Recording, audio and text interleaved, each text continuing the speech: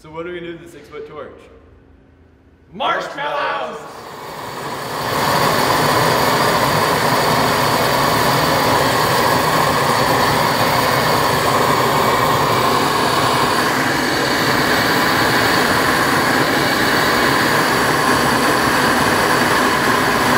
Okay, well we're like coming up with ideas for this new contest and we thought of making like a six to one scale of the 100C cutting torch right here.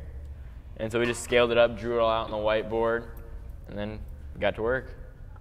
Okay, one of the main challenges was we were running like a copper pipe up through the bottom half, and then it was like rubber. So we were trying to weld on here without burning through the, the rubber pipe that was going to the hose, and it was pretty challenging.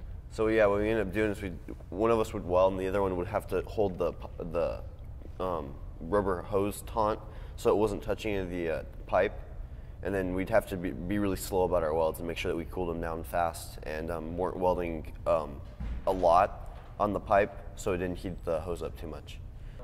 Pretty much cutting uh, is the whole thing because we took a bunch of different, we took basically pipe and sheet metal and cut it all up and threw it together and we, we something's got to make it stick. So welding welding's a big key and like Matt Matt did a great job of cutting like fittings, like like cutting all the, the sheet metal out to make the fittings and stuff like that. So because our school, with all the budget cuts and everything, our school is a lot not as high tech as we could, and winning all this new stuff is a great advantage because it allows us to put more output and more kids working, more kids in the program, and just greater future success.